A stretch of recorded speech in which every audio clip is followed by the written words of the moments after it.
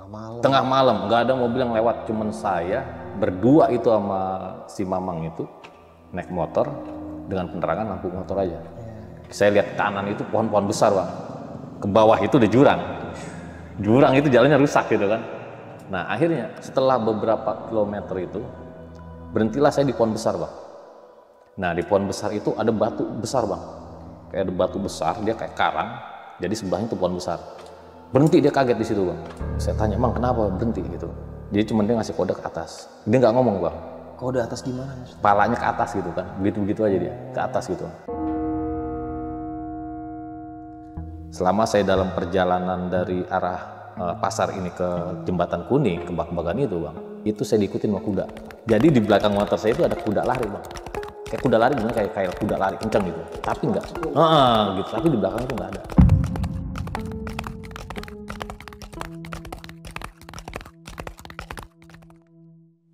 Assalamualaikum warahmatullahi wabarakatuh. Balik lagi sama gua Badrul Pepslok. Kali ini sob kita kedatangan lagi nih salah satu abang-abang. Nah, beliau mau cerita nih tentang kisah pengalaman horornya waktu dulu pulang kampung dari Tangerang menuju Sukabumi, Jawa Timur. Eh, Jawa Timur, Jawa Barat maksudnya. Dan sepanjang perjalanan beliau mengalami nih kejadian horor yang bikin bulu kaki merinding. Oke, langsung aja kita kenalan siapa abang-abang di samping dua ini. Halo Bang, siapa Halo. namanya Bang? Rama bang. Bang Rama. Siap. By the way ini kejadian tahun berapa nih Bang? Kejadian tahun waktu itu tahun 2003 2004-an 2003 2004 ya. 2003, Waktu abang 2004. balik ke ke Sukabumi. Sukabumi. Oke, dan ini kisah barbar ya. Sob. Oke, by the way kita makasih banyak nih Bang Rama Siap, ya. siap, siap. Udah nyempetin waktunya buat bagi kisah pengalaman nih. Siap. Eh, dari rumah ke sini berapa jam perjalanan, Bang? Tadi sempat keder kayaknya. Sempat keder. Sempat keder saya. Keder tuh nyasar. tuh. Oke, tahan dulu Bang Rama ya. Siap. Sebelum kita lanjut kitanya buat teman-teman yang belum subscribe, jangan lupa subscribe dan diaktifkan loncengnya. Buat teman-teman yang udah subscribe, kita banyak-banyak terima kasih. Selama YouTube ini masih berdiri, donasi akan terus berjalan. Oh ya nih, buat teman-teman yang punya kisah pengalaman horor, jangan disimpan aja, langsung aja kirim di nomor WhatsApp ini nih. Kuy, kita gibah misteri sini. Oke, cari posisi rebahan terbaiknya, matiin lampunya, gasken kita ke gibah misteri.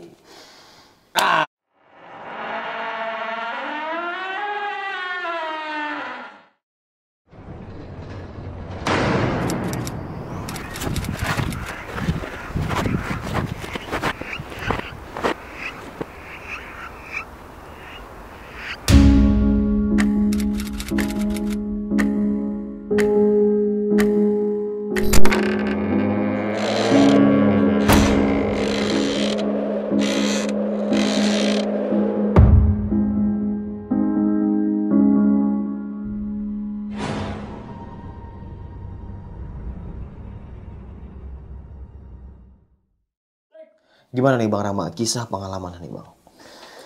Jadi waktu itu saya pulang kerja karena kan dulu waktu itu saya masih kerja sebagai security Bang Badru Iya. gitu kan. Saya sih pagi pulang sekitar jam 4, jam 4 sore. Nggak ada rencana saya untuk pulang kampung waktu itu kan. Akhirnya kita karena udah lama juga nggak ke sana, balik kampung akhirnya kita balik gitu kan, balik nengokin istri. Saya berangkat dari rumah itu jam 5-an, sekitar jam 5 sore saya berangkat. Sampailah saya di Ciputat, saya nunggu bis nih bang nih, jurusan Bogor. Karena kan waktu itu memang bis Bogor itu cuma ada trayeknya itu di Ciputat waktu itu kan. Yang untuk Sukabumi itu jarang. Akhirnya saya naik di Ciputat, saya sampai di Bogor. Saya nunggu bis dulu bang nih ceritanya. Oke. Di terminal Baranang Siang waktu itu ya, saya nunggu di terminal Baranang Siang. saya nunggu bis yang arah laut. Laut apa tuh? Pelabuhan Ratu gitu kan. Karena kan kalau di terminal itu laut laut laut laut. Oh, nyebutnya ya. laut ya. nah berarti kan Pelabuhan Ratu gitu kan. Oke. kita nunggu beberapa jam di sana karena juga kan macet di Bogor itu kan. Akhirnya kita nyampe. Ketemulah nih bis nih. Saya nyampe di Bogor ketemu bis. Itu sudah sekitar jam 8-an lah. Jam 7 jam 8-an ya waktu itu kan. Kita naik nih bis. Kita naik bis ke arah laut Pelabuhan Ratu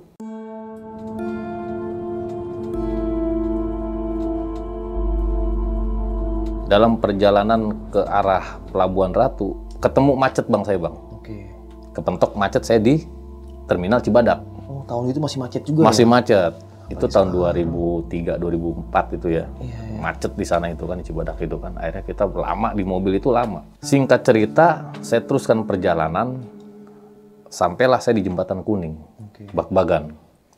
Nah yang biasanya kalau biasanya itu di jembatan itu banyak bang angkot itu kan tukang ojek juga ada cuman kalau angkot kuning ini kan dia terbatas waktunya jam 4 jam 5 sore itu udah nggak ada angkot yang ke atas itu paling tukang ojek Nah, kalau tukang ojek ini pun juga terbatas. Kadang kalau sudah malam itu dia nggak mau bawa ke atas.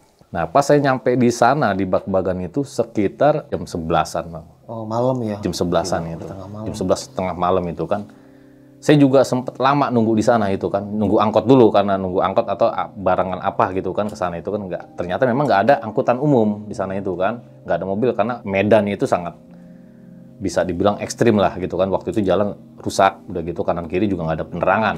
Apalagi warung kalau di pinggir jalan hutan itu kan. Adalah satu nih, ada satu tukang ojek.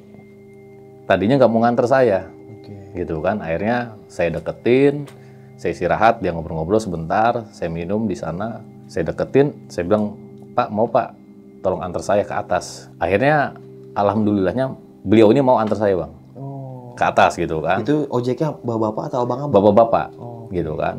Dia pun ragu untuk membawa saya, membawa saya ke sana karena juga karena dulu itu masih rawan bang. Masih rawan, Rawan gitu. apa nih? ya mungkin bisa dibilang begalnya gitu kan karena memang waktu itu daerah sana itu sangat rawan. Akhirnya kita teruskan perjalanan. Berangkatlah saya naik ojek dari Bak-Bagan ini.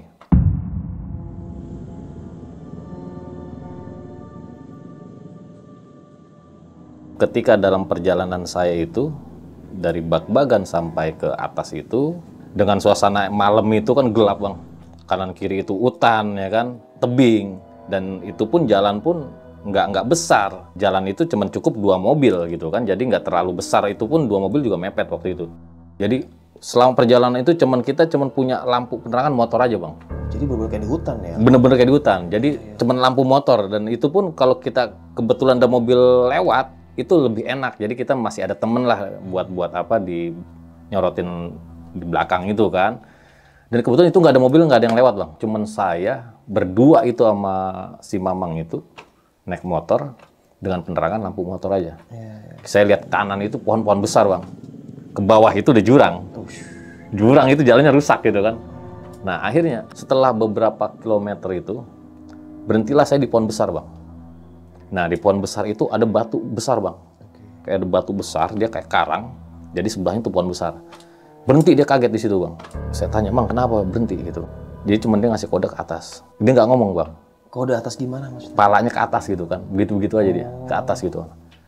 Akhirnya bang bang saya saya saya, saya gebuk-gebuk, dia malah lemas gitu malah lemas. Akhirnya kan mamang itu narok motor dia dia duduk bentaran di lemes saking lemesnya gitu kan. Kayak orang nggak sadar gitu kan. Akhirnya saya cipratin air bang. Pas saya cipratin air itu baru ketika dia sadar dia melihat pohon besar itu nanya sama saya. Bang itu lihat bang ke atas katanya. Itu ada perempuan duduk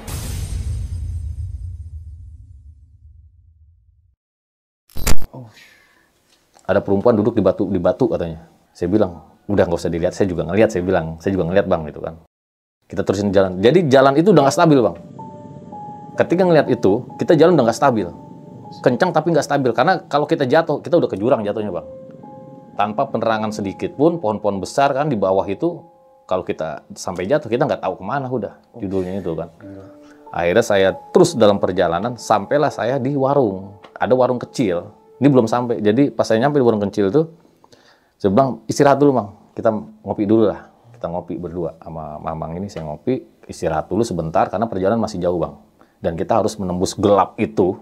Itu masih beberapa kilo lagi ke atas. Karena kanan kiri itu memang masih masih sangat rawan di sana waktu itu kan. Kita udah ngopi, kita udah makan sebentaran. Terusin lah kita perjalanan bang.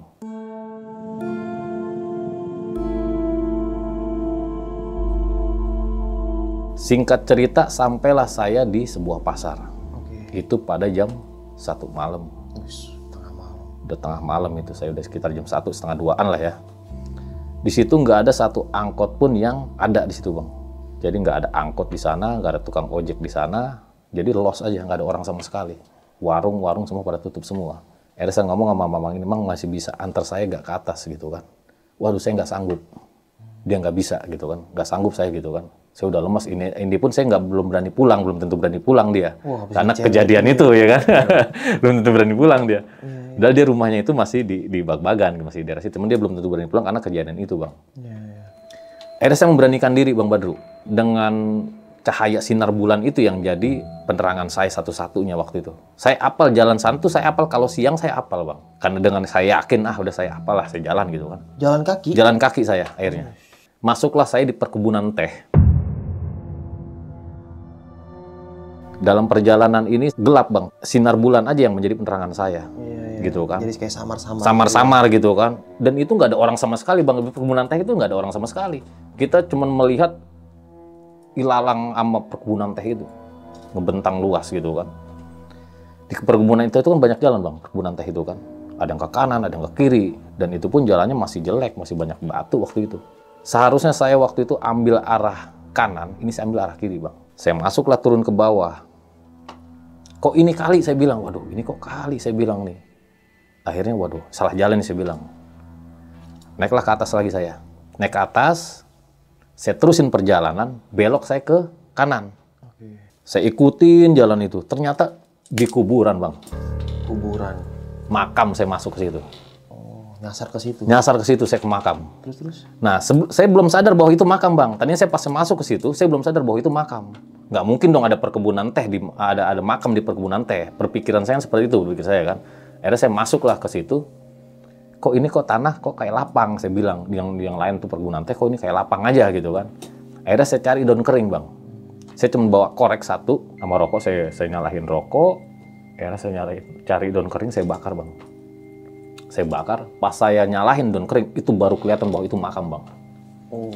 itu kuburan di situ. Waduh, saya sempat panik. Akhirnya saya panik, sepanik-paniknya saya di situ. Kaget gitu, kok bisa kemari saya bilang. Dan sedangkan saya nggak tahu wilayah situ. nggak pernah lewat situ saya. Udah nyasar berarti. Udah nyasar, saya bilang saya nyasar nih. Saya bilang nih, saya nyasar nih. Waduh, akhirnya saya coba turun ke bawah bang. Turun ke bawah karena saya keluar dari perkebunan teh. Ternyata malah kali. Wah ini kok kali saya bilang. Akhirnya saya naik ke atas. Karena api yang saya pegang mati bang. Saya nyari daun kering lagi dong. Saya nyalahin lagi buat penerangan gitu kan. Ketika saya nyalahin api ini dengan daun kering, saya ngeliat sama-sama si makhluk itu bang.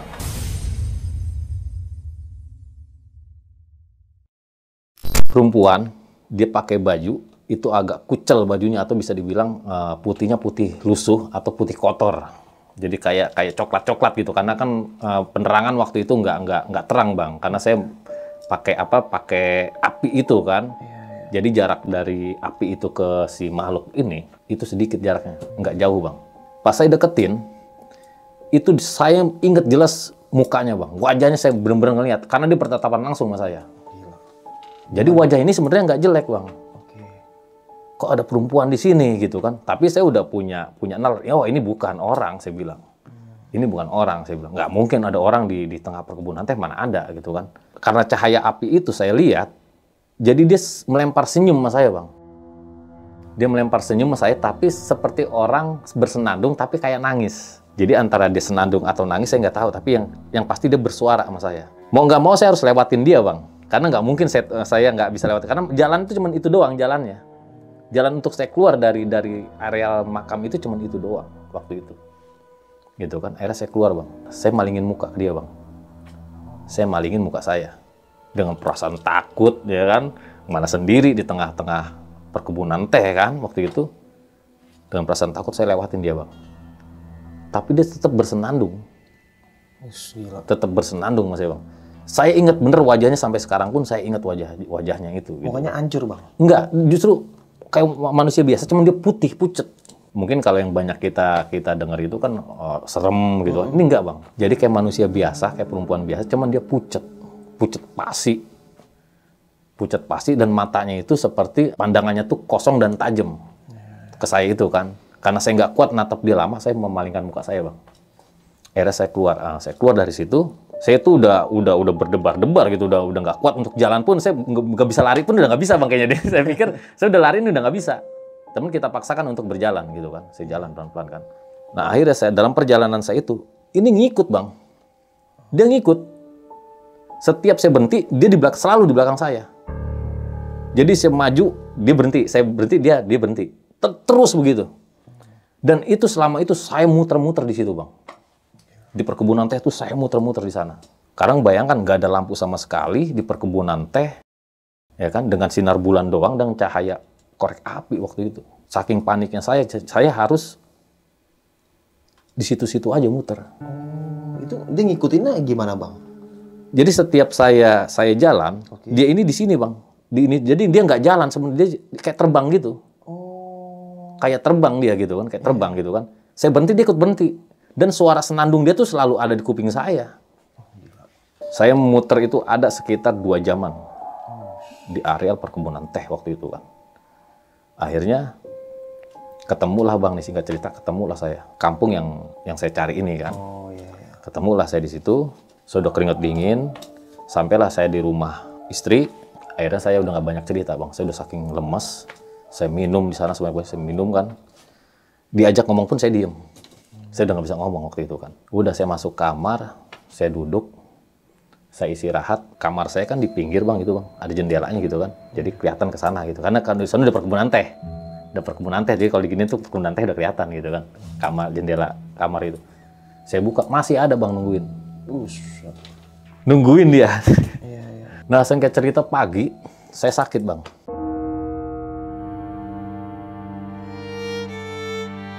Saya demam, karena kan juga saya harus besok harus kerja bang. Mau nggak mau saya harus balik dong, karena kalau security itu kan waktu liburan terbatas bang. Saya balik sore. Nah, jadi nggak terlalu sore kayak saya berangkat gitu kan. Saya jam jam 2an tuh saya udah balik waktu itu. Singkat cerita, saya balik sore, ya kan. Masuk dari saya turun di Bak-Bagan, terus ke arah Bogor, Bogor ke Ciputat. Saya baru balik rumah bang. Sampai saya di rumah, udah saya istirahat, saya makan, saya mandi, udah seperti biasa gitu bang. Udah saya istirahat. Kalau rumah saya kan kamar mandi di luar bang. Jadi nggak di dalam nih kamar mandi waktu itu. Kamar mandi di luar. Dan di, di, di luar kamar di luar eh, kamar mandi itu di belakang tuh udah pohon gede, pohon nangka, kebun itu pohon rambutan di situ semua. Akhirnya saya mandi itu jam 6-an. Nah, Jam mandi jam 6, jam setengah tujuan lah. Pokoknya udah sudah sore saya mandi gitu kan. Ketika saya mau keluar mau mandi, mau keluar karena kan saya kalau buka pintu ke eh, dapur itu pasti ngeliat keluar dulu ke kebun dulu, Bang. Pas ketika saya buka, itu makhluk ada di situ, Bang. Yang cewek itu. Yang cewek itu ada di bawah pohon nangka Terus terus. Gitu kan. Kaget saya kan. Akhirnya saya masuk lagi ke dalam bang. Saya saya nggak berani keluar nih. Saya masuk masuk dulu ke dalam saya. Saya masuk ke dalam. Kok ini masih ada? Saya bilang kok ini masih ngikut? Saya bilang gitu kan. Kok ini masih ngikut? Dari sandal jauh ini. Udah. Akhirnya saya panggil saudara saya bang. Tolong anterin lah saya bilang gitu kan. Mandi gitu. Akhirnya mandi nih bang saya. Saya mandi saya masuk ke rumah. Udah kalau habis mandi itu kan saya santai biasa ke- keluar nih sama teman gitu bang. Sama teman kayak main ngerokok gitu kan. Keluar saya bang nih dari rumah. Kita ngobrol-ngobrol sama teman nongkrong-nongkrong ya kan belum ngerokok. Balik saya sekitar jam satu malam bang.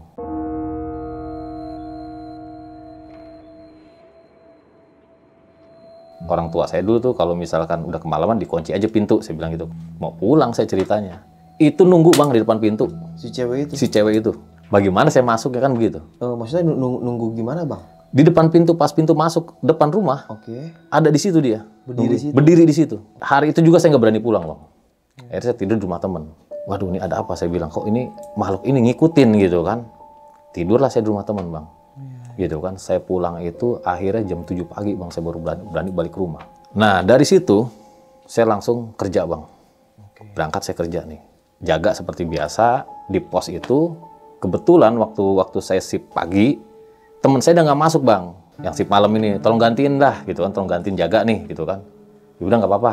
Yang penting ada ada timbal baliknya gitu kan. Akhirnya saya ganti teman saya yang malam bang. Oke. akhirnya seharusnya saya balik hari itu jam 4 sore saya jaga malam langsung. Kebenaran saya dapat pos jaga itu paling belakang bang. Pos paling belakang. Dan pos itu bener-bener bisa dibilang rawan lah. Jagalah saya di pos nih. Singkat cerita malam bang. Nah pas saya malam itu jaga ada yang nimpuk di atas pos itu. Dah gitu kan. Tiga kali nimpuk saya lihat mungkin ah kucing. Saya berpikir positif. Bahwa ah ini kucing lah saya bilang. Saya senter ke atas gitu kan. Karena pos itu kan ada pintu bang. Pos saya itu kan jadi eh, di dalam itu bisa di- dikunci dari dalam. Karena posnya agak luas juga gitu ya kan. Akhirnya saya masuk ke dalam saya nonton TV saya kunci pintu. Pas ketika saya mau waktunya patroli malam itu bang dia di depan pos bang. Si perempuan ini juga depan pos saya. Saya nggak berani keluar dong dengan natap natap ke saya itu dengan dengan wajah yang sama. Tapi wajahnya nggak hancur, wajah itu pucet pasi, tapi matanya itu masih masih melihat tajam ke saya dan itu masih bersenandung. Jadi ibarat kita bisa nangis, dibilang nangis ya seperti orang nyanyi, dibilang nyanyi kayak orang nangis, kayak gitu. Kayak gini mungkin. Gitu. Ya seperti itu, kurang lebih seperti itu. Nah akhirnya saya kontak teman saya bang melalui HT. Tolong kemari dong gitu kan, bawain bawain apa kayak gitu kan. Akhirnya datang teman saya bang, makhluk itu udah nggak ada bang. Besokannya saya balik saya sakit bang, saya sakit lagi. Nah setelah itu saya pulang, saya mampirlah ke rumah mamang saya. Dan kebetulan mamang saya ini agak ngerti gitu kan dengan hal seperti itu. Kita nggak saya ngobrol sama mamang saya. Akhirnya mamang saya menyuruh saya sebaiknya balik lagi ke sana Ke mana nih? ke Pelabuhan Ratu. Saya disuruh balik ke sana. Dan itu harus berangkat malam hari, Bang. Harus harus jam 5 sore waktu seperti saya berangkat waktu itu. Saya berpikir lagi, Bang, waktu itu Bang Badru. Saya berpikir bahwa waduh, nggak mungkin nih saya bilang nih harus ke sana lagi gitu kan. Karena kenapa? Ya sangat yang kemarin terjadi itu masih belum bisa hilang di pikiran saya kan. Akhirnya kalau mau mau dihilangkan ya harus seperti itu. Kem- kembalikin lagi ke sana. Akhirnya terpaksa saya balik ke sana, Bang. Cuman waktu itu saya bawa penerangan bang. Bawa penerangan saya. Saya bawa senter gitu kan. Dan saya harus kembali ke makam tersebut.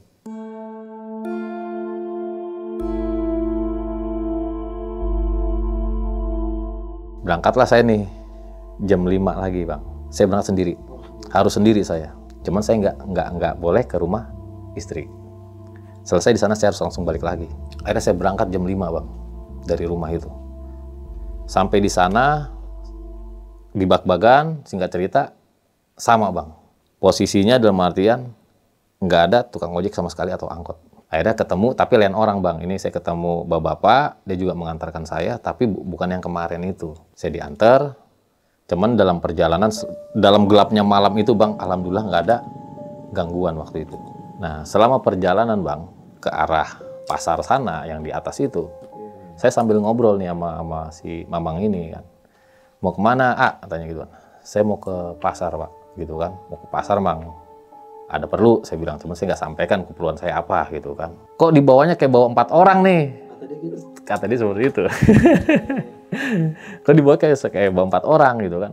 Nggak tahu, mungkin banyak kempes kali, saya gitu, Bang Badru. Akhirnya, selama perjalanan saya alhamdulillah nggak ada nggak ada yang saya temuin bang sampai di pasar singkat cerita sampai di pasar bang nggak ada orang sama sekali sepi. Jam berapa itu bang? itu sama sekitar jam 12 setengah satuan.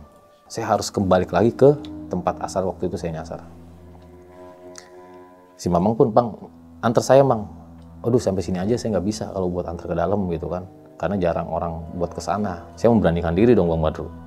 Gitu kan mau nggak mau ini kan memang udah udah udah apa yang disampaikan sama mamang saya harus dilaksanain gitu tapi saya buat center bang waktu itu bang Badru. Justru sebaliknya sekarang saya lupa jalan ke arah situ. Wah yang mana jalannya nih gitu kan.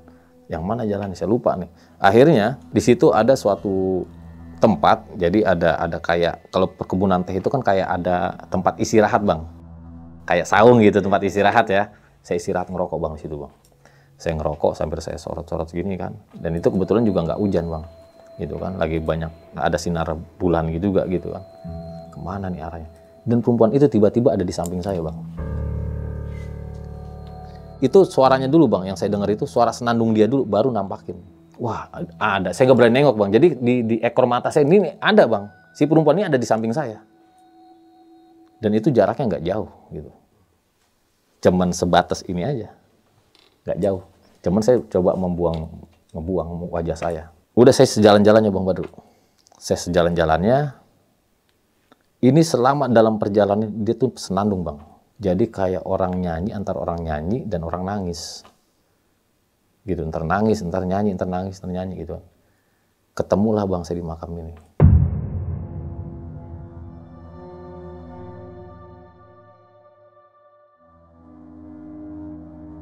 Saya diam di situ sebentar saya ngerokok bang.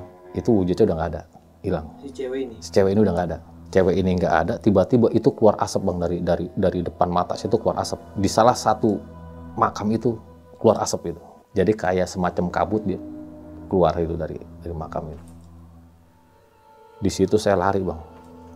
Saking kagetnya saya lari saya. Tapi saya nggak nggak mampir ke ke rumah istri waktu itu. Saya langsung balik. Ya kan akhirnya dulu kan belum ada gojek bang. Akhirnya saya lari sejauh mungkin dengan perasaan panik. Tembusannya itu di pasar bang. Pasar mana? Pasar yang tadi saya berhenti. Oh, Pertama saya masuk. Akhirnya saya nyampe di sana. Kebetulan ada tukang ojek yang yang mau mangkal pagi. Mang, tolong antar saya mang. Ke mana? Ke bawah lah gitu kan. Saya mau balik nih. Mang dari mana? Biasa ada perlu gitu kan. Diantar lah mang. Selama saya dalam perjalanan dari arah eh, pasar ini ke jembatan kuning, ke bak-bagan itu bang. Itu saya diikutin sama kuda. Ada suara kuda. Jadi di belakang motor saya itu ada kuda lari bang. Kayak kuda lari gimana? Kayak kayak kuda lari kencang gitu. Tapi enggak ah gitu. Tapi di belakang itu nggak ada. Si mamang ini juga denger juga. Gitu. Akhirnya sampai saya di bak bagan saya turun. Angkot tuh belum ada bang waktu itu bang. Untuk arah ke Bogor itu. Belum belum ada yang lewat. Bis itu belum ada yang lewat waktu itu.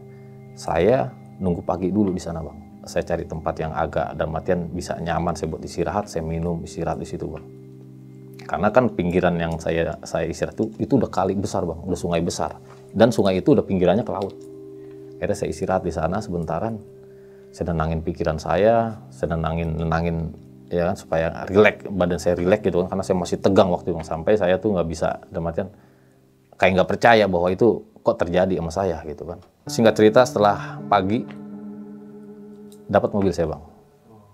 Eh, saya balik ke Bogor saya sampai di Bogor saya kembali lagi ke rumah saya istirahat saya minta izin eh, sama komandan regu saya waktu itu saya libur minta libur waktu itu tiga hari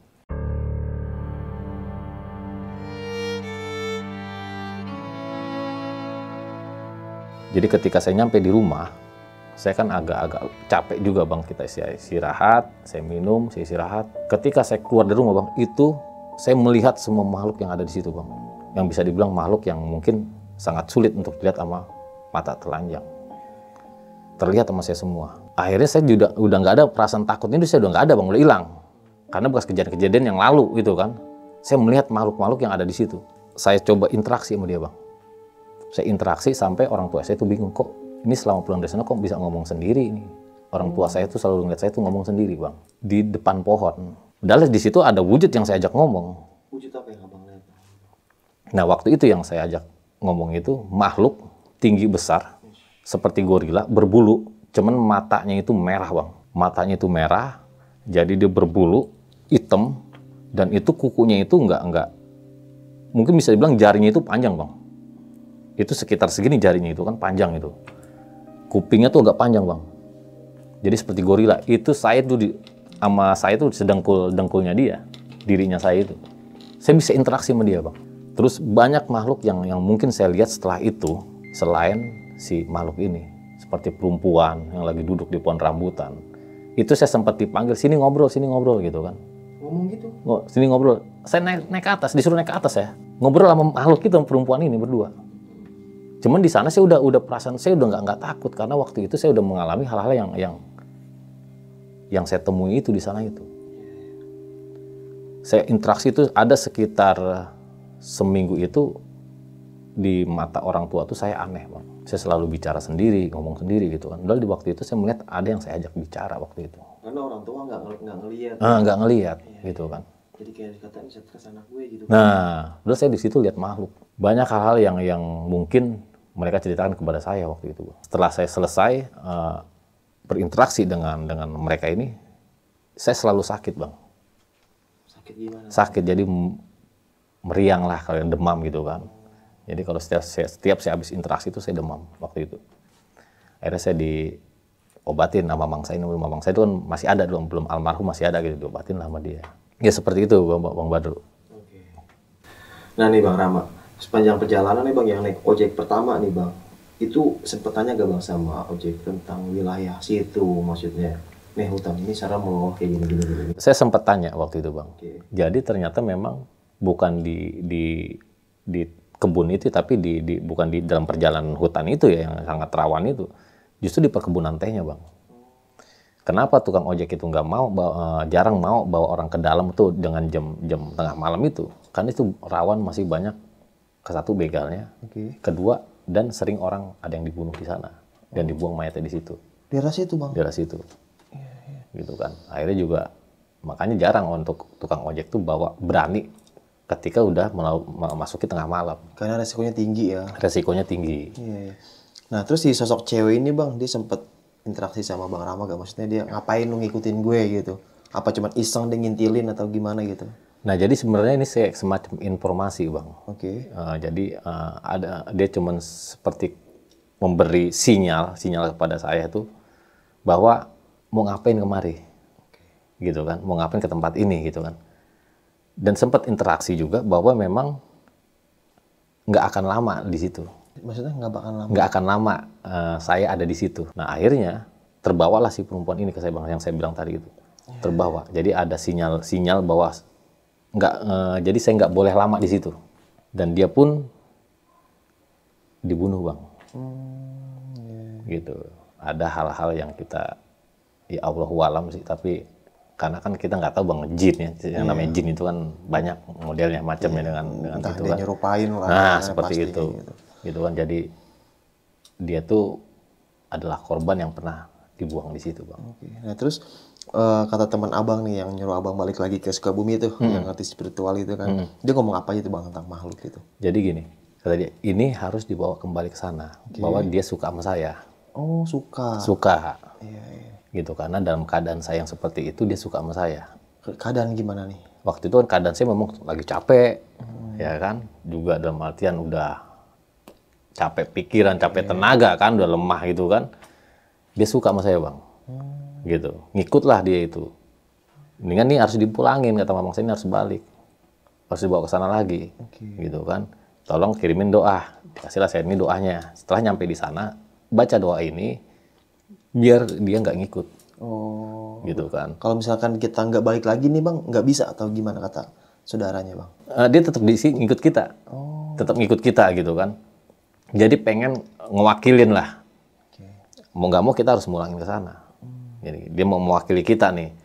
Walaupun kita dalam artian eh, kalau kita jikir atau apa, dia akan tetap ngikut bang. Iya. Karena ya suka itu, gitu kan. Akhirnya ya mau nggak mau saya harus harus mulangin ke sana dia ke tempatnya itu. Kan. Suka dia bang ya? Betul. Karena jin ini punya punya sifat rasa suka bang. Setahu saya jin ini punya sifat rasa suka. Emang di alamnya nggak ada cowok lain gitu? Nah, itu dia. Iseng banget. nah terus eh, pas sampai rumah nih bang, pas waktu kemarin pulang kampung itu, itu istri sempat tahu bang tentang kejadian ini? saya nggak cerita bang. Nggak cerita. saya nggak cerita sampai saat ini pun saya nggak cerita. Enak gak sih bang bisa ngeliat kayak gitu bang? Maksudnya Sebenarnya enak gak enak bang Badru. Enak gak enak. Gak enaknya ketika kita berinteraksinya itu. Oke. Ada hal-hal yang mungkin bisa dibilang ada sesuatu yang bisa kita ceritakan, ada juga yang nggak bisa nggak boleh kita ceritakan. Ada yang memang bisa disebut arwah atau bisa juga disebut jin. Karena yang arwah ini kan yang belum waktunya dipanggil Tuhan dia sudah sudah meninggal. Sedangkan yang yang jin ini memang dia sudah menampakkan wujudnya seperti itu. Gitu. Jadi perbedaannya banyak bang. Ah, luar biasa jalan pulang kampung ya. Oke dan sekarang Sukabumi rame gak bang? Pelabuhan Ratu rame gak bang? Kalau sekarang ini setahu saya rame bang. Rame ya? Kalau tahun 2003 atau 2004 bang bisa dibilang tuh masih ekstrim jalan situ. Masih ekstrim. Masih ekstrim karena jalannya ke satu rusak, kedua kanan kiri masih pohon lebat dan jurang itu mungkin masih masih sangat curam waktu itu. Kebun karet banyaknya bang ya? Kebun karet. Kebun karet ya? Atau Jadi apa sih? dari dari jembatan kuning ke atas itu kan ke arah Jampang itu kan masih kanan kiri hutan bang. Iya hutan ya. Karena ada perkebunan teh tuh sebelum Jampang itu pasti ada perkebunan teh kan. Iya, iya. Itu saya di di sana bang. Oke sob, mungkin sekian ya kisah pengalaman horor yang dialami sama Bang Rama ini. Bisa kita ambil segi positifnya, buang jauh-jauh negatifnya. Jadi balik lagi, di mana pun kita berada, ke mana pun kita berada, jangan lupa selalu baca doa dan selalu beribadah kepada Tuhan Yang Maha Kuasa. Dan semoga teman-teman di rumah selalu dalam keadaan sehat walafiat, dimudahkan rezekinya, dilapangkan rezekinya, dan dimudahkan segala urusan-urusannya. Dan semangat para kaum rebahan, semangat mandi pagi. Oke, sampai jumpa di kisah selanjutnya. Wassalamualaikum warahmatullahi wabarakatuh. Bang, makasih banyak Bang ya. Sama-sama Bang Wadru. Kapan kita ke Sukabumi? Kita bareng-bareng pulang kampung. Dadah.